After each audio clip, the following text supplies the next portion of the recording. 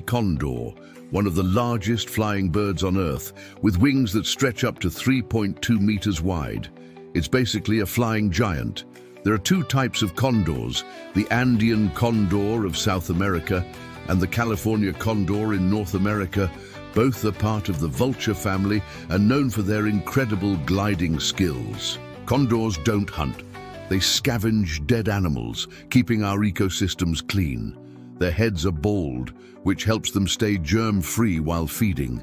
They can soar for hours without flapping, riding warm air currents all the way to 5,000 meters or more.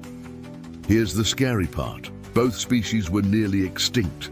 The California condor dropped to only 27 birds in the 1980s. But thanks to breeding programs, there are now over 500 California condors, still endangered, but flying back to survival. Condors live up to 60 years in the wild, and they only lay one egg every two years. Slow reproduction is part of why recovery is tough. Majestic, ancient, essential, the condor is more than a bird. It's a living symbol of resilience and balance in nature.